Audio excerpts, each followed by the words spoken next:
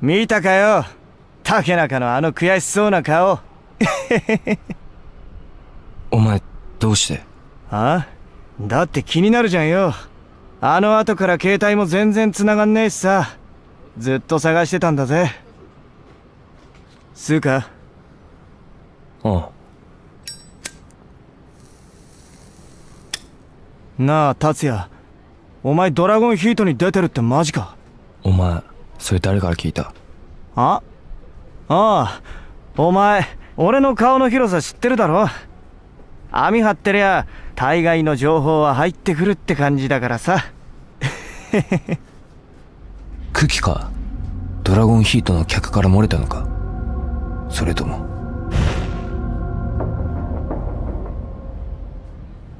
達也この前は悪かった。ちょっと言い過ぎたよ仲間にヤバいこと一人でやらしちまったってさ。気になってしょうがなかったんだ。あのひっきり連絡も取れなくなっちまって。お前大丈夫か？あの後何があったんだ？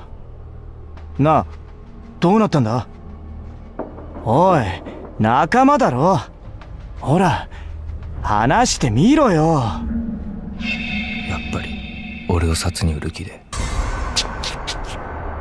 何勘違いしてんだ？あ？俺は一度もお前を仲間なんて思ったことはね達也？えだってそうだろうが。俺とつるんでたのは一緒にいれば美味しい思いができるからだ。金女それだけだ。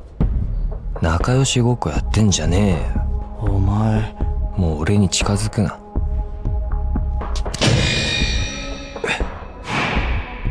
右足そうかよ達也。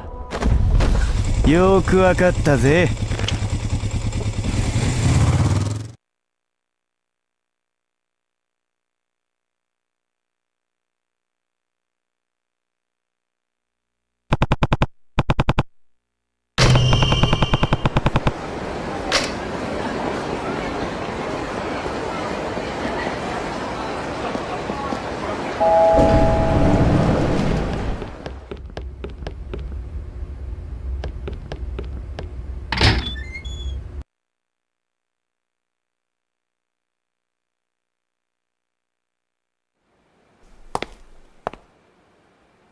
かえり。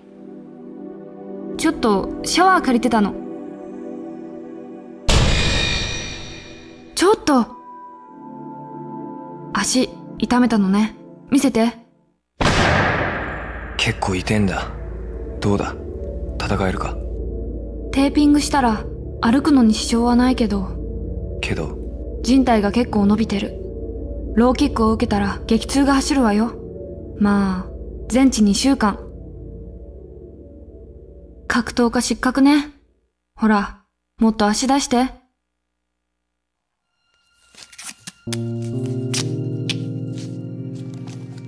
なあお前仲間いるか？友達？高校ほとんど行ってないからあんまりいない。一人か二人かそんなもんよ。君は？誰もいねえよ。ずっと一人だ。生まれた時からなふーん。寂しい人なんだね。はい終わり。とにかく茎に確かめるのが先だ。俺が見た戸田が本人なのかを。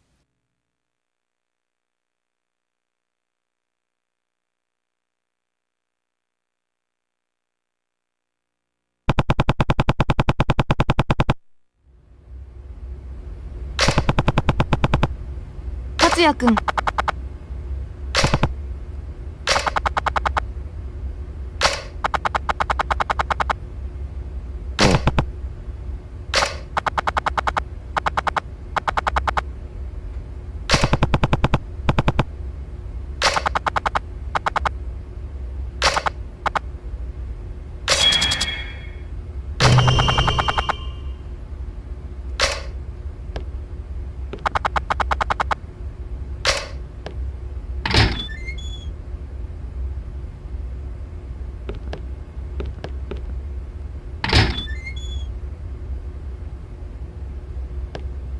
達也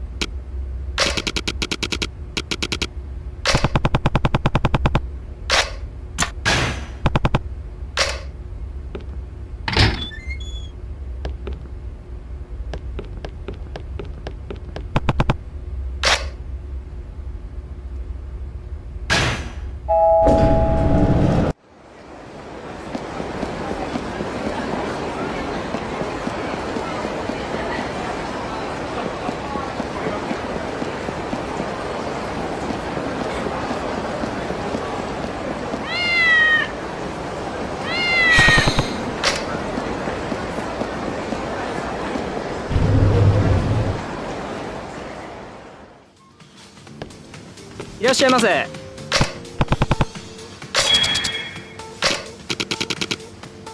ありがとうございました。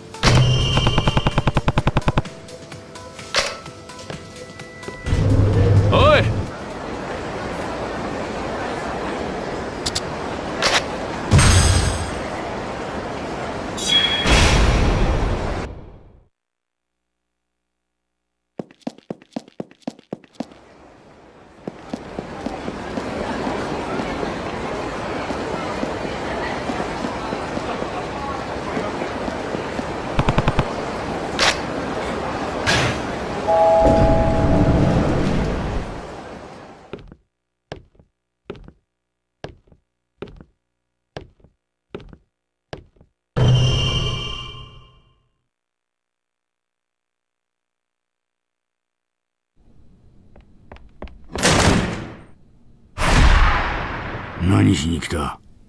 あまり出歩くなと言ったはずだ。おいおい恐竜ってのはリングネームだけにしとけよ。中華料理屋の長楽だ。2階の窓で見た。何をだ？俺が殺したはずの戸田がこの目で見た。どういうことだ？答えろ。てめえ誰に向かって口聞いてんだこら戸田は死んだ？じゃあ俺が見たのは誰なんだ？いいか達也。無理もない。お前は幻を見たんだ。殺人を犯した苦悩。そしてここから逃げ出したいっていう願望が生み出した幻をな。あれは幻なんかじゃねえよ。では証拠は？戸田が生きてるって証拠あるのか？俺はこの目ではっきり見たんだよ所詮はガキだな。いいか？人間には2種類しかいねえ。プレッシャーを糧に成長する奴と押しつぶされちまう奴。お前はどっちだ？お前が次にやる相手だ。真壁隼人沖縄出身。気が荒いので有名な沖縄の極道10人を仲良く病院送りにして東京に逃げてきたっていう。ストリートファイター。勝つためには手段を選ばねえ。狂犬だ。恐竜と狂犬の噛み合い。観客は盛り上がるぞ。駆け引きも楽しみだ。てめえ。いいがあと6つだ。10連勝しろ。そうすればくだらん幻も消える。楽になるぞ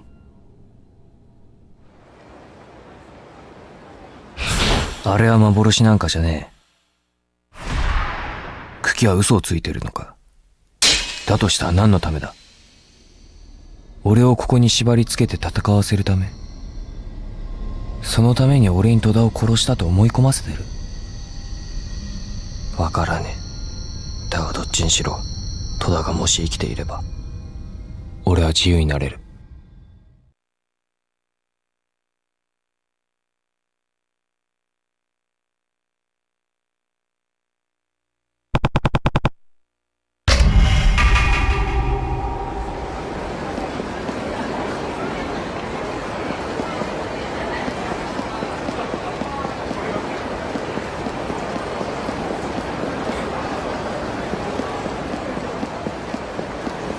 おい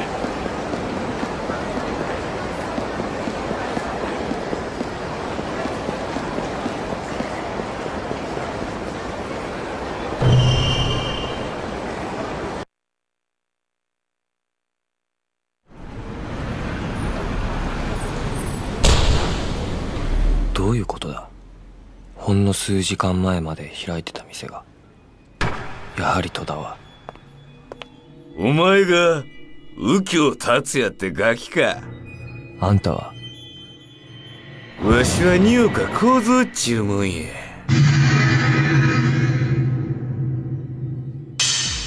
兄ちゃんちょっと顔貸してや。なんだよ。心配すんなや。俺は久喜のこともよう知っとるで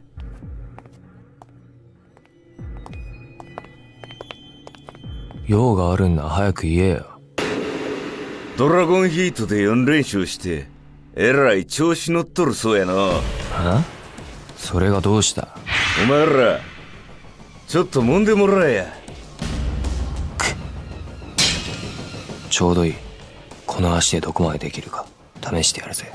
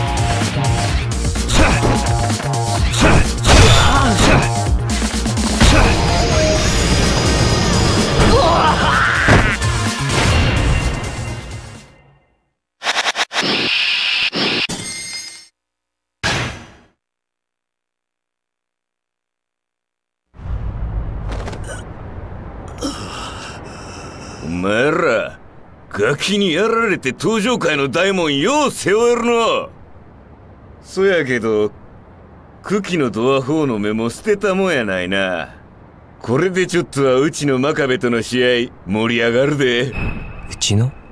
じゃあ真壁は？そうや。うちの若い衆や。あいつはちょっと歯止め効かんところあるからな。兄ちゃん死んでも恨みっこなしやで。関係ねえ相手が誰でも負けるわけにはいかねえんだよ。10連勝するまではな。10連勝？何がおかしい？いやあ悪い悪い。勘弁や。兄ちゃんがいくら強うてもな10連勝なんぞは絶対に無理。無理なんや。なんだと？お前何も知らんらしいな。茎も罪なやつやで。まあ知りたきゃサイの河原にでも行って聞いてみることやな。まあ知らん方が兄ちゃんのためかもしれんけどな。絶対に無理。どういうことだ？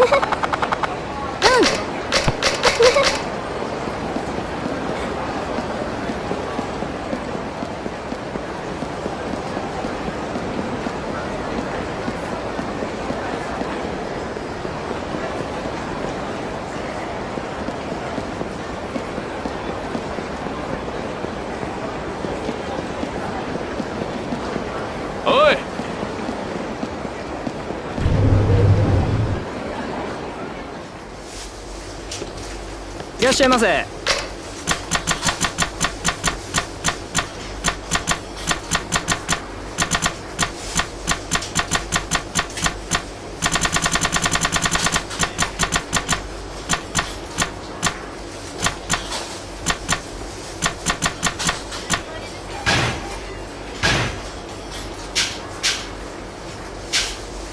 ありがとうございました。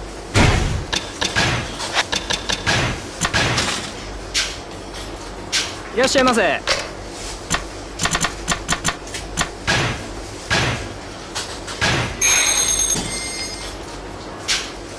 ありがとうございました。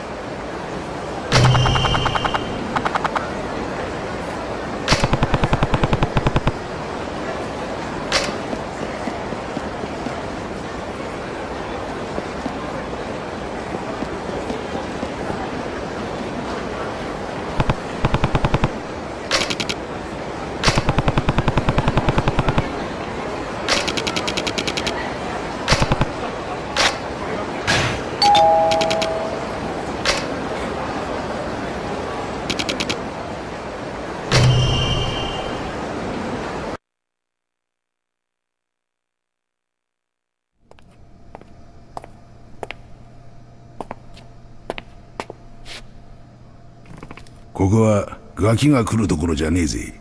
右京達也君。どうして俺の名前を？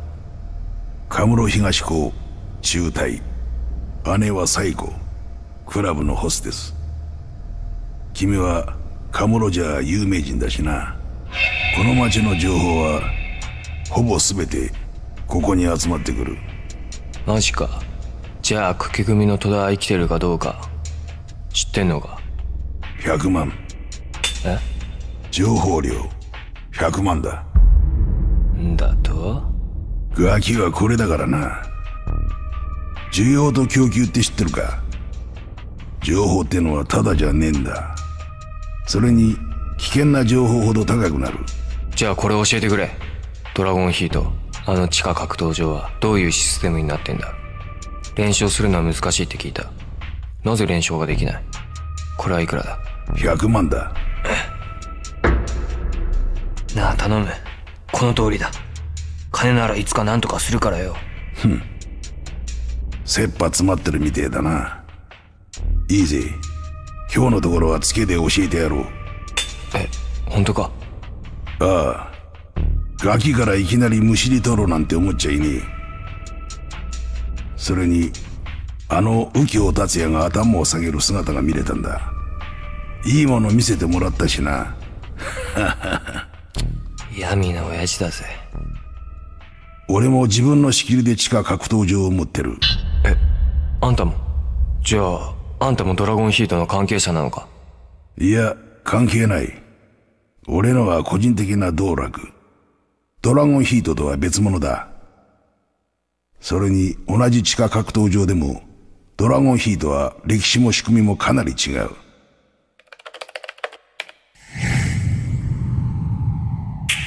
あの格闘場の歴史は古い。50年以上前から存在している。そもそもの仕切りつまり主催は登場会。そして30年くらい前まではあの地下格闘場はカムロ町の若者が純粋に己の力を試す場所だった。戦後間もないカムロ町ではあちこちでテントを張ってリングを作り力自慢たちが腕を競い合ったそうだ。それがいつしか客を集めて賭けを行う興行に育った。物資のない時代では理にかなったエンターテインメントだったんだろう。開催当初リングでは極道崩れからセミプロのボクサーなどの格闘家も多くいた。皆最強の座を狙ってな。熱狂するリングに触発されて果ては米軍兵士までリングに上がったこともあるそうだ。古き良き時代の風景ってやつだな。そしてこの頃だったら力さえあれば10連勝する奴がいてもおかしくなかった。ああドラゴンヒートが生まれた頃の話は前に茎にもちらっと聞いた。で10連勝したやつはマジでいねえのか？こいつはあくまで噂だがな。何でも乃木っていうボクサーが9連勝まで行ったことがあるらしいだが56年ほど前からだ。地下格闘場は全く別のものになったんだ。別物？格闘ブームに乗って客が異常に増えた。そして掛け金が急に釣り上がったんだよ。そこに目をつけたのがあの辺りの島を取り仕切っていた久喜龍太郎だ。リングを大幅に改装して派手なマッチメイクを組み掛け金と入場料で大儲けネットでベットできるシステムを導入してからは儲けは天井知らずだ。だがそんな時なぜかある日から急に札の取り締まりが異様に厳しくなり登場界全体のしのぎが減っていった。警察が？ああ。それもあまりにも正確に摘発され続けた。もちろん登場界は真っ先に疑った。何を？撮影の内通者の存在だ。そして内通者探しが始まった。だがそれが登場界をガタガタにし始めた。それぞれの組は疑心暗鬼になって互いの足を引っ張り合うことにもなりそれで組織は大騒ぎだ。だが内通者は見つからなかった。そんな状況を見てある男が動いた。他のしのぎが次々に摘発されていく中で久喜組はドラゴンヒートによって着実に売り上げを増やし登場界の中でも群を抜いた一大勢力になった。他の組が恐れるほどの勢力になだがその様子にこの男がクレームをつけた。二岡組だ。二岡さっきの。そいつらが登場会本部を突き上げてドラゴンヒートに共同経営をさせるように申し出た。その結果格闘場の管理は茎組だが戦う選手は直系各組のいずれかに所属させその選手が勝てばその掛け金に応じた儲けが所属している組に入金されるというシステムが出来上がったんだ。これは登場界の秩序を保つ役割も負っている。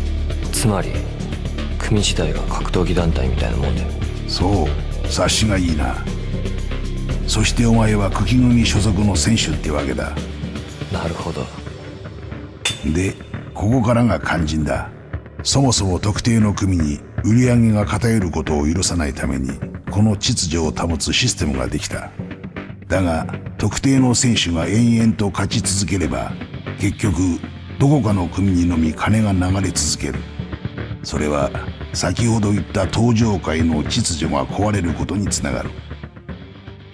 つまりだ。4連勝した達也君にはすでに大きな掛け金が乗っかってきている。そこでさらに語れると茎組にばかり上がりが乗る。それだとまた秩序が壊れる。だから君には嫌でも強敵が当てられることになる。それが真壁隼人ってわけだ。あんたそこまで知ってんのか？真壁は二岡組の射程になっている。つまり右京 VS 真壁は久喜組と二岡組の代理戦争でもあるってわけだ。もし今回勝っても次はさらに強敵が当てられる。それも君の命を奪わんがごとくの強敵を当ててくる。そういう仕組みさ。でなぜ10連勝にこだわる？右京達也それは。そうだ。情報はただで喋っちゃダメだ。学習したな。まあ老婆心ながら言うけどもあそこで10連勝にこだわるのは命取りだぜ。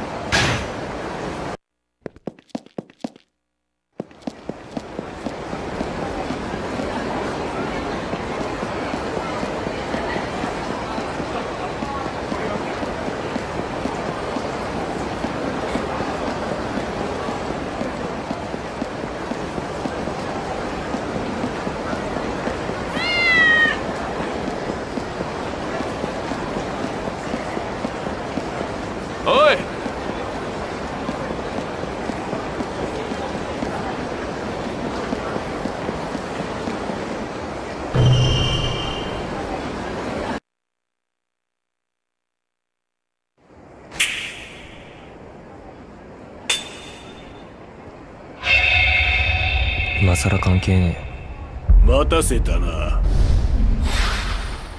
えなぜ天馬が二岡組のやつと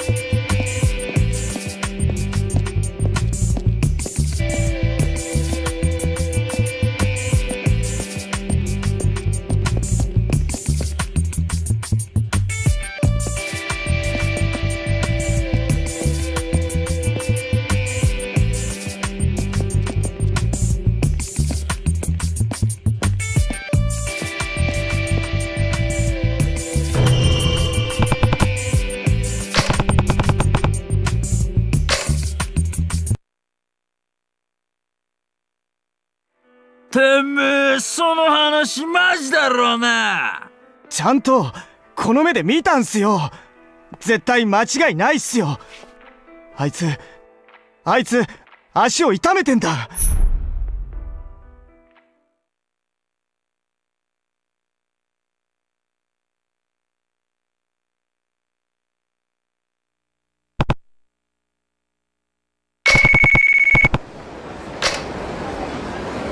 もしもし。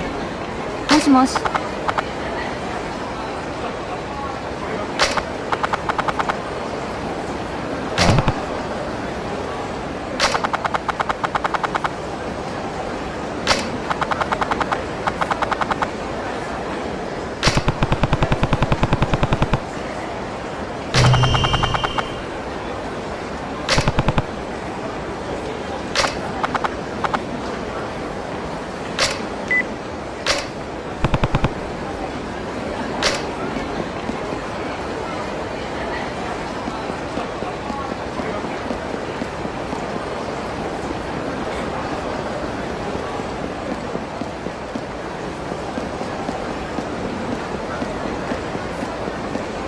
おい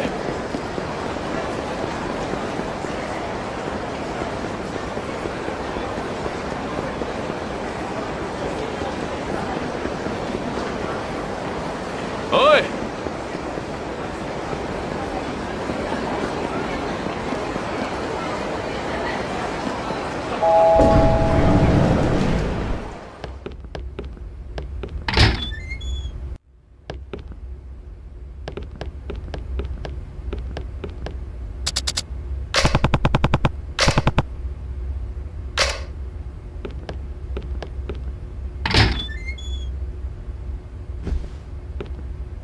達也くん。うん。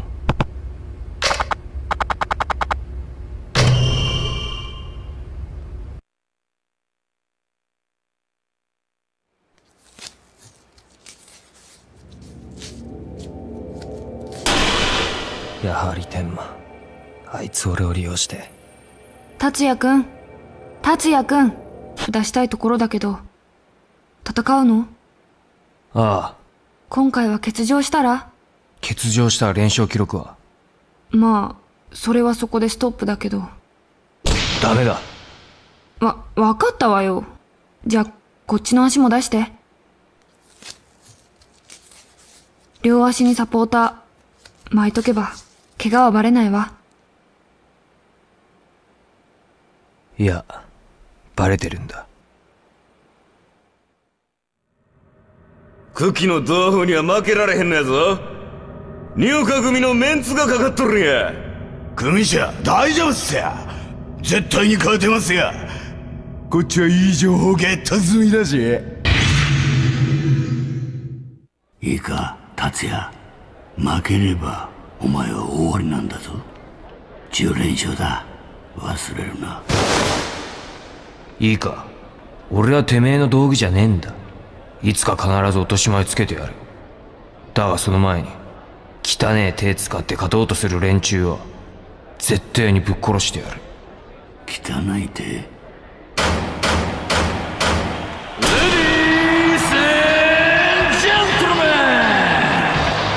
さあ今夜は正真正銘のドッグファイトをお楽しみいただこう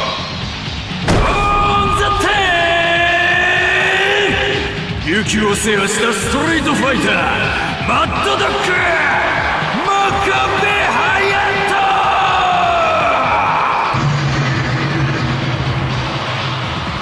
ト。オンザヘッ我がカムロ町が生んだ目下4連勝中のマッドドラゴン。タッツイ足の調子でも悪いのか うっせえ豚野郎。てめえの居場所はリングじゃねえ。養豚所だ。いつまで吠えてられるかな？その後はてめえだ。天馬。さあ狂犬 VS 恐竜。ルールは無用。予測は不能。アルティメイトストリートファイターの称号をかけた戦い。カモン！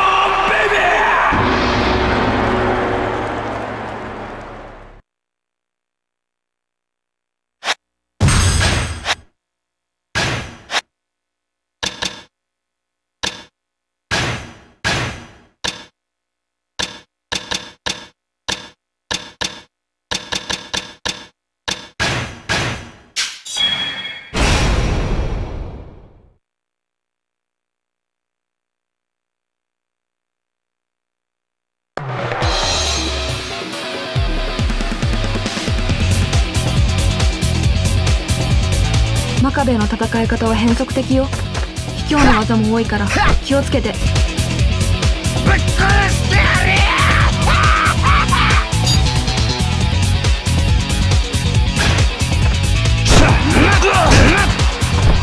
卑怯よ。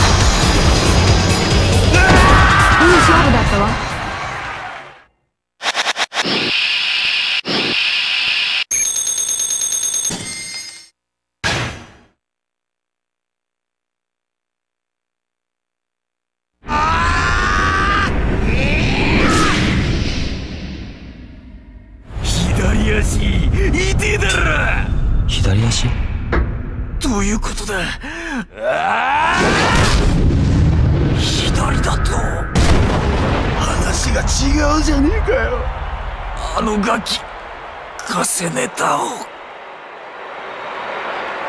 なぜ逆の足をまさか天馬が。天馬はどこだ？天馬リングサイドにいた白い服の男だ。ああその人なら。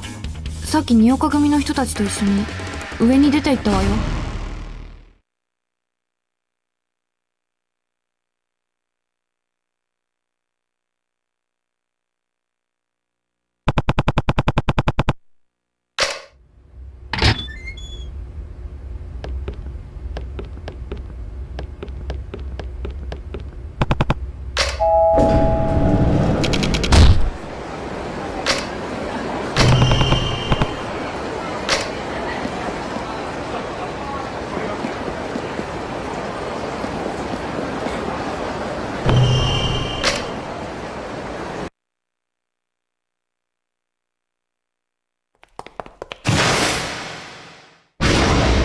てめえこの野やせネタ捕ませやがって。二岡組なめてんじゃねえぞ。てめえら何しやがる。ちょうどいい。お前もぶっ殺してやれ。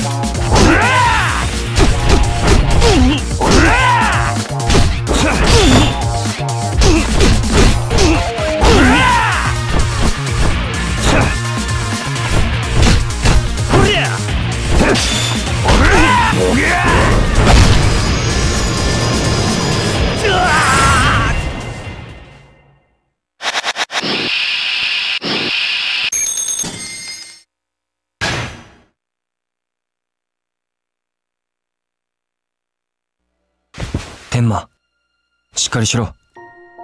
達也やっぱおめえ強えな。あんな化け物のしちまうんだからな。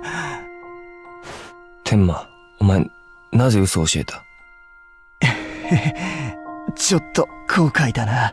俺が余計なことする必要もなかったみたいだからな。達也はやっぱマジ強えや。どうして？言ったろあの闇金を襲ってからお前と連絡取れねえし竹中っていうデカもしつこくお前を追ってるしよ。なんかやばいことになってるんじゃないかって。調べたらやっぱりだ。ダチが変な豚に殺されそうになってんのに放っておけねえだろ。だからちょっとハンデをやったのさ。二岡組の奴ら頭悪いな。イチコロで騙されやがった。バカ野郎。なんで俺なんか命かけてんだよ。俺はおめえが俺を売ったんだと思ってて。俺は仲間は死んでも売らねえよ。なあ達也。金女力他の奴ら。はそれ目当てでお前に。近づいたのかもしれねえ。けどな。いいからもう喋るな。俺はただ お前と一緒にいるのが楽しかったんだよ。天馬それが仲間ってもんだろなあ。おい。おい。天馬おいしっかりしろ。おい天馬おい助けろおっさんこいつを助けてやってくれ。肋骨にひびあとは亀裂骨折が何箇所か。だが内臓までは行っていないし頭はしっかりガードしていたみたいだな。検査する必要はあるが全く別状はない。適切に対処すれば割と早く治るだろう。間違いねえな。嘘ついたらぶっ殺すぞ。バーカやめなさいボスが大丈夫だって言ってんだから大丈夫なの。でもよかったね。あ？一人で生きてきたとか言っといているじゃん仲間。なあ達也。このガキの方がお前よりよっぽど強えぞ。なんでだよ。お前はちゃんと人を信じてるか。人を信じることができなければ自分を信じることはできない。このガキにとってお前はずっと仲間だったんだ。つまりずっとお前を信じていた。お前はそうは思わなかったのかもしれないがな。気づかなかったんだ。まったく。一人で生きてきたなんてうぬぼれんな。うぬぼれなんかじゃねえ。それは俺が今まで生きていくために支えにしてきた俺の大事な気持ちでくだらん。なんとも寂しい支えだ。一人で生きてきたなんて。所詮それは人を疑って生きる生き方だ。その考え方は周りを見えなくさせるぞ。その通りだ。俺はずっと一人で生きてきた。そう思っていた。そしてそれは俺を支える正しい考えだと思っていた。それは単に周りのもの全てを疑っていただけだ。実際見えなくなってたんだ。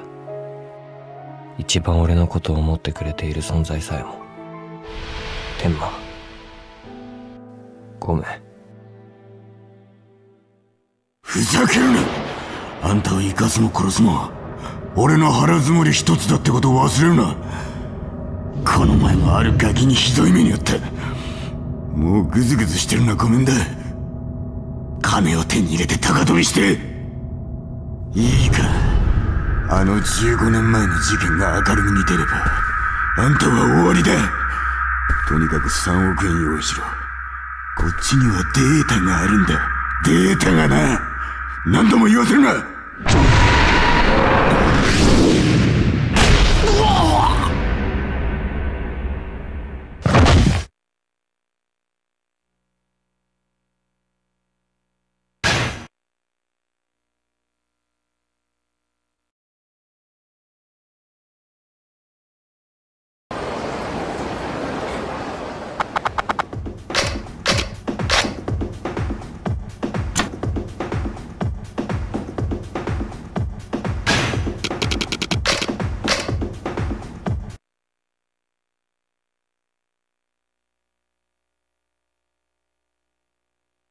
いらっしゃい。はじめまして、ジョーです。何がいいの？